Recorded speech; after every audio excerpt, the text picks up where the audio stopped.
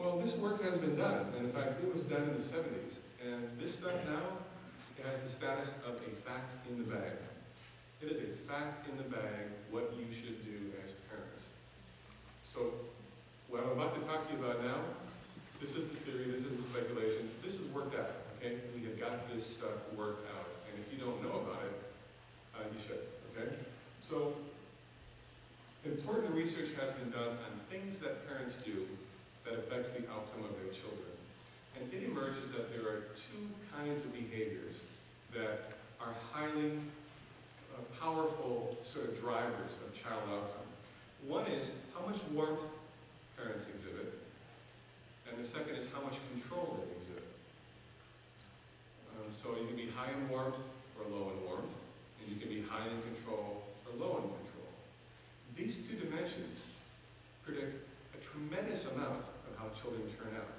And because these are dimensions that have a high or a low, both have a high or a low, you might imagine that we can you know, create quadrants, right? Okay, and the quadrants that we've got are, are um, high warmth, high control, that's an authoritative parenting style.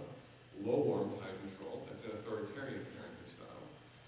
High warmth, low control, a permissive parenting style. And low warmth, low control, a neglecting parenting style. Foster independence and personal efficacy. This is kind of parenting in the postmodern era. Modern parenting is self-esteem parenting, it's praising, and it's permissive parenting. So if you can make this step beyond being a permissive parent, get yourself connected with the instincts, the developmental instincts of authoritative parents, these are some things that you can start working on also. You can work on fostering independence and personal efficacy. Help your children learn to be good at doing things.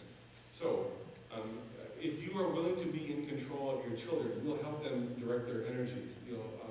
Those kids are able to take the initiative uh, you might actually, actually help them become realistic in appraising their strengths and weaknesses. Honest feedback is worth a tremendous amount more than empty praise. You know, there's something else that praise induces, okay? And what empty, what frequent empty praise induces is a mistrust of positive statements. Okay, so a child who's been excessively praised, then when they're at work and the boss says, good job on that report, by the way, they're going to say, of course he says that. You know, he has to say that. He's my boss. She has to say that. She's my mom. He always says that. He's my dad. So when you actually you, you um, inoculate them against the benefit of genuine positive feedback, okay? Empty praise inoculates children against the benefits of genuine positive feedback. So you might actually consider being genuine and honest in the feedback that you're giving them right now.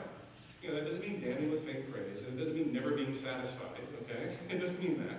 But it may, means maybe that you take the empty out of the positive feedback. Help them become realistic in what appraising what it will take to accomplish a task.